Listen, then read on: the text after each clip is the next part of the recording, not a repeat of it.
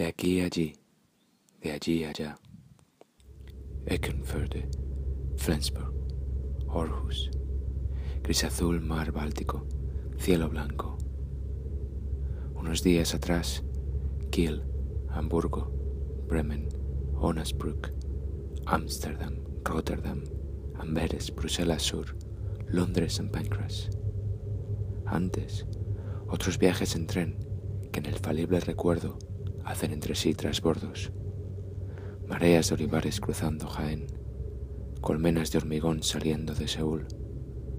Noche cerrada al llegar a Tibim, estrecho de Mesina, meandros del Sil, agua salobre del lago Shinji en Matsue. Palabras escritas en cuadernos de viaje, notas en la parte de atrás de billetes de tren, papelillos sueltos. Palabras dichas, calladas, pensadas sin más, pensamientos en palabras encorsetados. Hayas, robles, abedules, bosques primigenios que el otoño muda. Jessica, Pepe, Hannah. Hannah y sus ojos gris azul, mar Báltico. Gris azul, mar Báltico. Cielo blanco. Tantea Hannah. Sonríe. Balbucea. Protesta. Chupetea una galleta. Señala. Toca mi barba. Sonrío yo. Pausa. Pausas. Pausas pausadas y en ellas deleite. A veces pausas. En Colin se apean viajeros para cambiar al tren que los llevará a Copenhague, o quizás solo a Oense, o más allá, Gotemburgo, Estocolmo, tal vez Narvik. No quien ahora habla, yo esta mañana sigo hasta Aarhus, última parada. Eckenförde, Flensburg, Aarhus. Gris azul, mar Báltico, cielo blanco, hayas, robles, abedules, bosques primigenios que el otoño muda. Viaje el de esta semana, pensado para pensar y para no pensar también, recobrar el equilibrio, hacer menos, ser más, para ser más despacio tal vez, ser uno menos y más todo. Ser la bromía de Timurizón, mis anfitriones en Amberes, ser el rico pescado a la plancha de Fisamin en Handelsstraat, ser Ámsterdam al despertar, un paseo buscando Joy for Two, el café desde donde Shannon una vez me escribió una postal, ser Currywurst mit Pomfrit en un puesto en la estación de Kiel, sí, por favor, para llevar, decirle al simpático cocinero vendedor, ser el tiempo pasando desde la ventanilla del tren, ser hayas, robles, abedules, bosques primigenios que el otoño muda, calmo, gris azul, salobre ostsi, blanco el cielo. Tiempo que es verbal, pasa, pasaba, pasó. Un rato contemplando el pequeño dolmen de Langholz, en un apacible bosquecillo muy cerca del mar.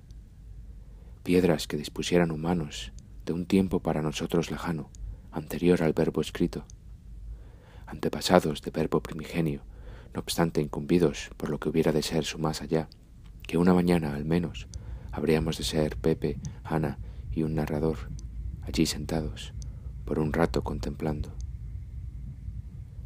Entretanto, antes y después, a cinco minutos a pie, poco más, manso oleaje del Báltico gris azul, gris azul mar Báltico, cielo blanco, y hayas, robles, abedules, bosques primigenios que el otoño muda. Uno de cinco mil otoños ya para el dolmen de Langholz. Paul Clay, pienso, entre el tráfico a veces incesante de pensamientos. Hay una nueva muestra en la Tate. Me gustaría ir cuando el domingo esté ya de vuelta en Londres. Ir y luego comprar una postal de la exposición para enviársela a Pepe y Jessica, pues a Jessica, se ve, le gusta Clay. Pósters de sus cuadros cuelgan en las paredes de su casa en Vabs. Inspiran tal vez las obras sensuales que ella misma crea. Paul Klee, Making Visible, se titula la exposición.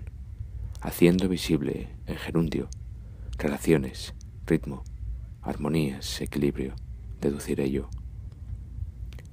Iré el domingo a primera hora y después, al salir, me sentaré a tomar un té mirando al Támesis, Millennium Bridge, St. Paul's, la catedral, en la otra orilla. Y para entonces será ya el mediodía, y las campanas de St. Paul's sonarán y resonarán, y me harán pausar la escritura y levantar la vista del borrador de lo que escuchas. Quizá imagines tú las campanadas resonando de orilla a orilla, mediodía dominical, el sol de otoño, el río marrón gris, azul el cielo, fracciones de conversación y tintinar de platos y cucharillas en el café de socios de la Tate, nube de leche entrando en la taza de Earl Grey, tiñendo al ocre la infusión. Sobre la mesa, el libreto de la exposición, en su cubierta, detalle del cuadro titulado Ritmos rojiverdes y amarillo-violetas, partitura de tinta y de óleo, de geometrías, de planos y color, voces en contrapunto, e insinuado, asomando entre la abstracción, un bosquecillo de abetos, puede ser. Simetrías silenciosas en bosques primigenios que el otoño muda, abedules, robles, hayas, cielo blanco, gris-azul mar Báltico. El mar gris-azul trae una pieza de ámbar a la playa de Babs, una cápsula de tiempo con una burbuja preservada en su interior, inmemorial tiempo color ocre tiempo, fósil tiñendo de ocre la luz, tiempo de antes de la historia y del tiempo verbal, del verbo escrito y del verbo oral también. Gema que una mañana Jessica y Pepe encuentran varada por el mar Posesión fugaz, me cuentan, pues enseguida la pierden por sus sendos siempre en la arena. Ámbar del Báltico, resina de bosque primigenio, casi tan primigenio como el mar, como el cielo. Caminar sin rumbo fijo, andar, desandar, dejarse parar, encontrar, poseer, perder, volver al mar. Orhus, Fabs, Amberes, Wood Green, Temposan, Battle Lake, Pinar de Chamartín. Antepasados de Langholz, pasajeros del tren. Inspirar, expirar, contemplar, encontrar un buen ritmo, armonías, equilibrio. Verbos en infinitivo. De allá a allí, de allí a aquí palabras.